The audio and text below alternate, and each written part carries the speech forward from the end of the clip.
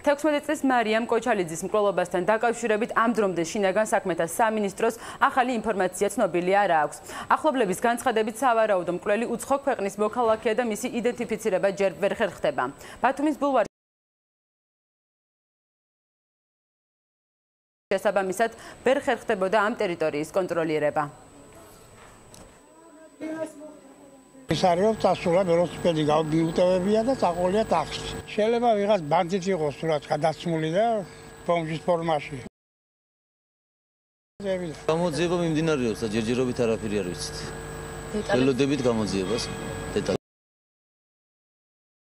ჩვენი ტერიტორიის ფარგლებში შედის იქ მოწესრიგებულია ინფრასტრუქტურა, დაალაგებულია, არის ყველა ის პირობა შექმნილი, რომ ტურისტი იქნება თუ ადგილობრივი მოსახლეობა ნორმალ საპატრულო უფრო სწორად პოლიციის დაცვის პოლიციის ჯიხურები დაცვის პოლიცია და ასე ვთქვათ, აი იმ დაცულ ტერიტორიაზე, რომელსაც ქვია ბულვარის ტერიტორია სინამდვილეში ნამდვილად დაცულია და არის ყველა გარანტია იმისა, რომ უსაფრთხოდ დაისვენოს ადამიანმა.